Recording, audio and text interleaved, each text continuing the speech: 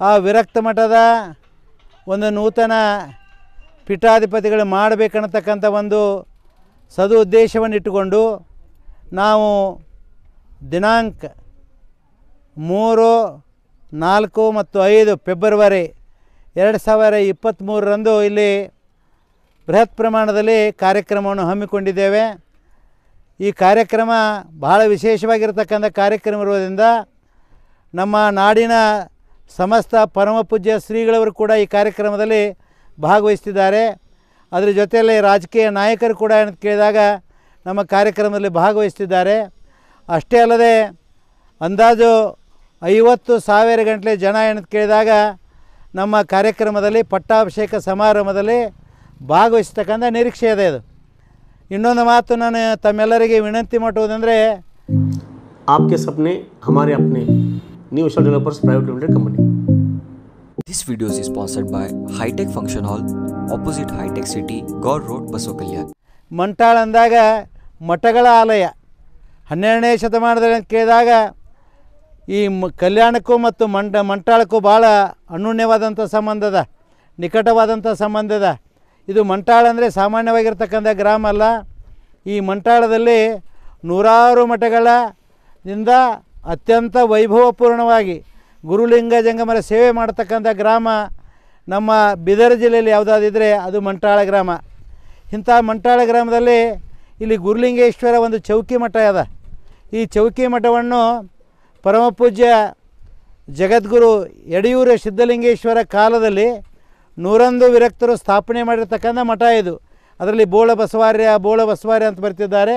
ಅವರು ಬಂದು ಈ ಮಠವನ್ನು ಸ್ಥಾಪನೆ ಮಾಡಿದ್ದಾರೆ.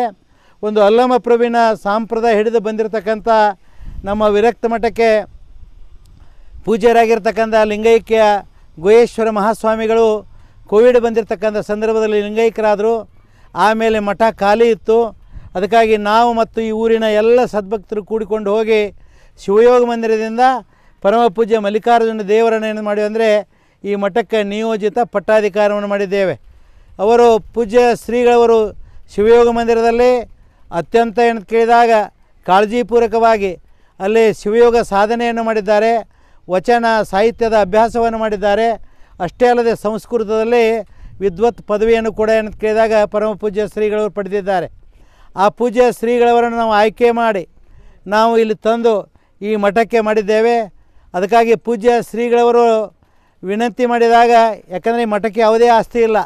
ಆಸ್ತಿ ಇಲ್ಲ ಅಂದರೆ ಅವರು ಒಂದು ಮಾತು ಹೇಳಿದರೆ ಏನಂದರೆ ಹಾನಗಲ್ಲ ಕುಮಾರ ಶಿವಿಗಳು ಏನು ಹೇಳ್ತಾರೆ ಅಂದರೆ ಮಠದಿಂದ ಘಟ ಬೆಳಗ ಘಟ ಬೆಳಗಬಾರದು ಘಟದಿಂದ ಮಠ ಬೆಳಗಬೇಕನ್ನತಕ್ಕಂಥ ಉದ್ದೇಶವನ್ನು ಇಟ್ಟುಕೊಂಡೇ videos is sponsored by CMM Group of Institutions. Admissions are open for B.Ed and MSW. Knowledge Park, the creative school, school for quality and innovative education. Modern men's parlor, Biome laboratory and diagnostics. First time in Baswa Kalyan city, thyroid testing machine is available. ಪರಮ ಪೂಜ್ಯರಾಗಿರ್ತಕ್ಕಂಥ ನಮ್ಮ ಮಲ್ಲಿಕಾರ್ಜುನ ದೇವರು ಈ ಊರಿಗೆ ಬಂದು ಇಲ್ಲಿ ನಿಯೋಜಿತ ಪಟ್ಟಾಧಿಕಾರ ಮಾಡಲಿಕ್ಕೆ ನಾವು ರೆಡಿಯಾಗಿದ್ದೇವೆ. ಅವರ ಒಂದು ನಿಯೋಜಿತ ಪಟ್ಟ, ಪಟ್ಟಾಧಿಕಾರ ಎಂದು ನಡೀತದೆ ಅಂದರೆ ಮೂರು ಮತ್ತು ನಾಲ್ಕು ಐದನೇ ತಾರೀಕು ನಡೀತದೆ. ಮೂರನೇ ತಾರೀಕು ದಿವಸ ನಾವು ಹದಿನಾಲ್ಕನೇ ತಾರೀಕಿನಿಂದ, ಜನವರಿ ಹದಿನಾಲ್ಕನೇ ತಾರೀಕಿನಿಂದ ಪ್ರಾರಂಭವಾಗಿರ್ತಕ್ಕಂಥ ಬಸವ ಪುರಾಣ ಏನು ಮಾಡ್ತೀವಿ ಅಂದರೆ ಮೂರನೇ ತಾರೀಕು ಬೆಳಗ್ಗೆ ಮುಂಜಾನೆ ಮುಕ್ತಾಯ ಸಮಾರಂಭ ಆಗ್ತದೆ. ಸಾಯಂಕಾಲ ಈ ಸು ನಿರಂಜನ ಚರಪಟ್ಟಾಭಿಷೇಕದ ಮಹೋತ್ಸವದ ಉದ್ಘಾಟನೆ ಆಗ್ತದೆ. ಇದನ್ನು ಉದ್ಘಾಟನೆ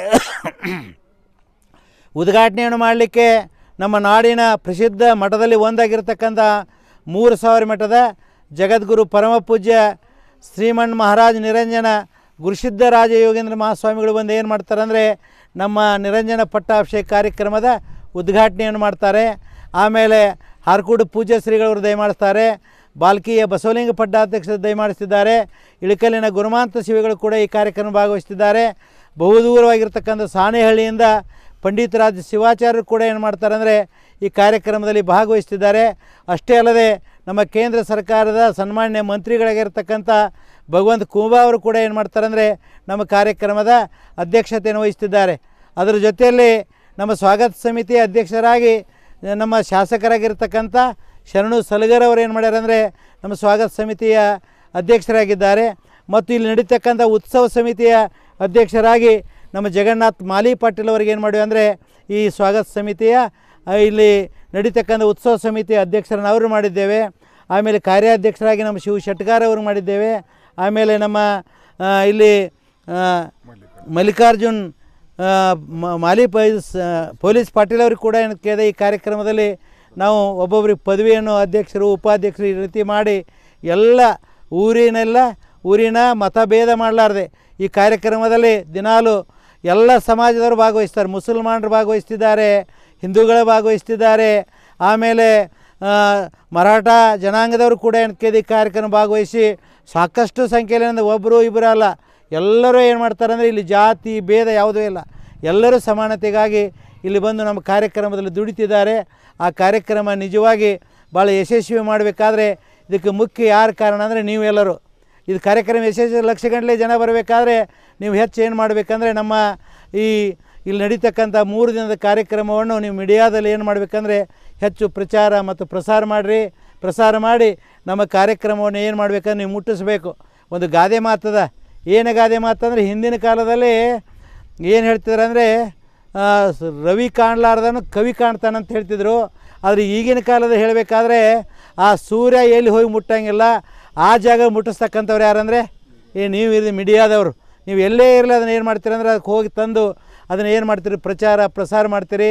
ಅದಕ್ಕಾಗಿ ನೀವೆಲ್ಲರೂ ಬಂದಿರಿ. ಧನ್ಯವಾದ ಹೇಳ್ತಿದ್ದೇವೆ. ನಾನು ಹೆಚ್ಚಿಗೆ ಹೇಳಲಾರ್ದೆ, ನೀವು ಯಾಕಂದರೆ ನೀವೆಲ್ಲರೂ ನಮ್ಮ ಕಾರ್ಯಕ್ರಮವನ್ನು ಯಶಸ್ವಿಗೊಳಿಸಬೇಕು. ಮೂರು ದಿನ ಪ್ರಸಾದ ಅಂದರೆ ಇಲ್ಲಿ ಹುಗ್ಗಿ, ಅನ್ನ, ಸಾರು, ಆಮೇಲೆ ಲಡ್ಡು ಮಾಡಿಸ್ತಿದ್ದೇವೆ.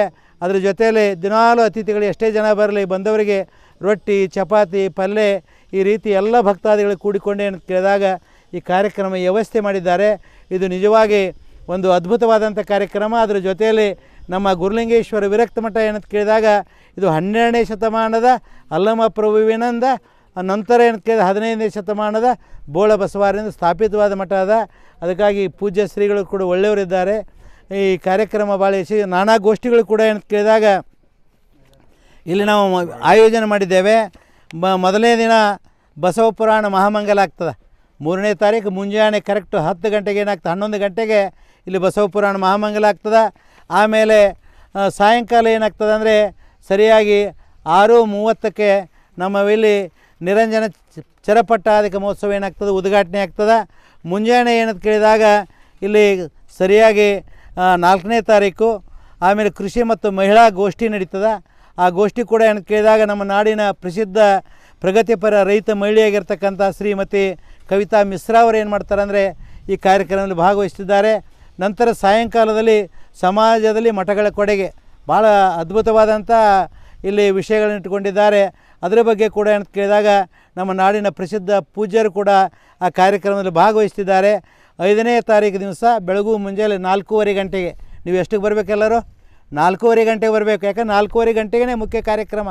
ನಾಲ್ಕೂವರೆ ಗಂಟೆಗೆ ಏನು ಮಾಡ್ತೀವಿ ಅಂದರೆ, ಇದು ಇತಿಹಾಸದಲ್ಲಿ ಎಲ್ಲಿ ನಡೆಯೋಂಗಿಲ್ಲ ಆದರೆ ಅಂಥ ಅದ್ಭುತ ಕಾರ್ಯಕ್ರಮ ಸರಿಯಾಗಿ ನಾಲ್ಕೂವರೆ ಗಂಟೆಗೆ ನಾ ಎಲ್ಲಿ ನಡೀತದೆ ಅಂದರೆ, ಒಳಗೆ ಏನು ಮಠದ ಆವರಣದಲ್ಲ ಆ ಪುಣ್ಯ ಕ್ಷೇತ್ರದಲ್ಲಿ ಏನಾಗ್ತದೆ ಅಂದರೆ, ಇವರಿಗೆ ಅವತ್ತು ಇವರ ತಲೆಯನ್ನು ಬೋಳಿಸಿ, ಇವರಿಗೆ ಸಂಸಾರದ ಏನಂತ ಕೇಳಿದಾಗ, ಮೊದಲಿನ ಬಂಧು ತಾಯಿ ತಂದೆಗಳ ಬಂಧುಗಳ ಹಂಗರಿದು ಅವರಿಗೆ ನಾವು ಅವತ್ತೇನು ಮಾಡ್ತೀವಿ ದೀಕ್ಷಾ ಮಾಡ್ತಿದ್ದೇವೆ. ದೀಕ್ಷಾ ಮಾಡಿ ಅವ್ರ ಕೈಯಲ್ಲಿ ಜೋಳಿಗೆ ಬೆತ್ತ ಎಲ್ಲವನ್ನು ಕೊಟ್ಟು ನಂತರ ಏನಾಗ್ತದೆ ಅಂದರೆ ಹೊರಗೆ ಕರೆಕ್ಟ್ ಹತ್ತು ಗಂಟೆಗೆ ಸಿಂಹಾಸನ ಆರೋಹಣ ಆಗ್ತದೆ.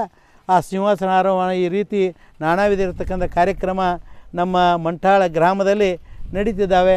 ಅದಕ್ಕಾಗಿ ಈ ಮಂಟಾಳದ ಸಮಸ್ತ ಸದ್ಭಕ್ತರು ಹಾಗೂ ನಾಡಿನ ಎಲ್ಲ ಈ ಭಾಗದ ಸುತ್ತಮುತ್ತ ಸದ್ಭಕ್ತರು ಈ ಕಾರ್ಯಕ್ರಮ ಭಾಗವಹಿಸ್ತಿದ್ದಾರೆ. ಇದೊಂದು ಅತ್ಯಂತ ಅದ್ಭುತವಾದಂಥ ಕಾರ್ಯಕ್ರಮ ಇರುವುದರಿಂದ ತಾವೆಲ್ಲರೂ ಸಹಾಯ ಸಹಕಾರ ಮಾಡಬೇಕಂತ ಹೇಳಿ ತಮ್ಮಲ್ಲಿ ಕೇಳಿಕೊಂಡು ನನ್ನ ಎರಡು ಮಾತುಗಳು ಮುಗಿಸಿದ್ದೇನೆ ಓಂ ಶ್ರೀ ಗುರು ಬಸವಲಿಂಗ